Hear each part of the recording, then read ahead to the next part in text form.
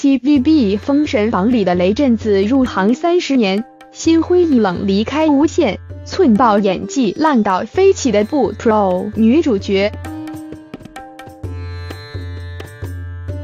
李嘉生这个名字你可能不知道，但是说到 TVB《封神榜》里的雷震子，你就肯定知道了。入行三十年的艺人李嘉生向来比较直肠直肚。很喜欢指点新人，有时说话还会夹杂些粗口。最经典是莫过于2004年拍《雪景雄心》的时候，李嘉诚被指经常寸爆薛凯琪。Fiona 拍杀青戏时，李嘉诚见 Fiona 做访问，就中途突然说：“做什么访问呀？又在讲你的那些歌唱事业呀？”告到 Fiona 当场非常之尴尬，唯有一笑而过。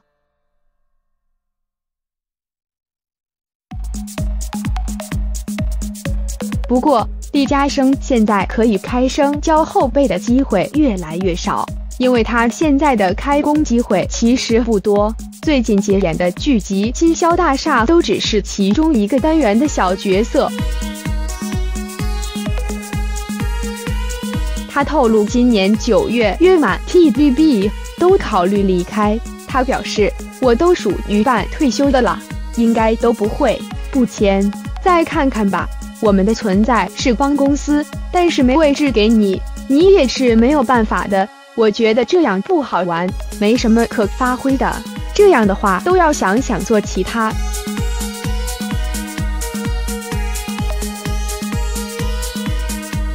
李嘉生坦言乐见新人受教，他说：“我教人都有乐趣，教多一个多一个，又带不进去棺材。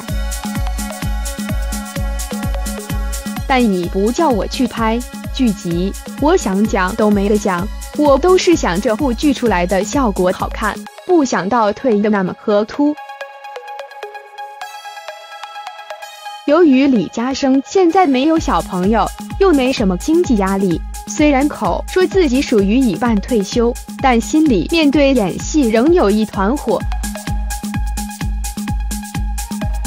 他说：“我虽然就快五十二岁了，但心境都只有三十多岁。如果突然给我演一线的那个位置，我说我一定可以，因为我还有气有力。但人是要讲命运的。”不一定竞赛就可以飞黄腾达，不可以用这样的心态困住自己。总之，我知道自己是 level 五最 top 的那个就 OK 啦。对于近年的 TVB 剧集质素，李嘉生承认确实是每况愈下，一直停留在以前。他更以韩剧作比喻，现在都不同了。TVB 现实的剧集被网民边看边骂，什么骂呀？是直接关电视不看了？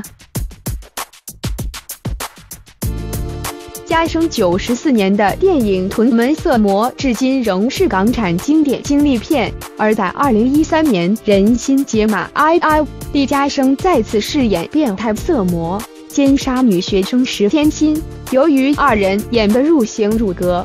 十分逼真，被网民封为强奸戏最佳拍档。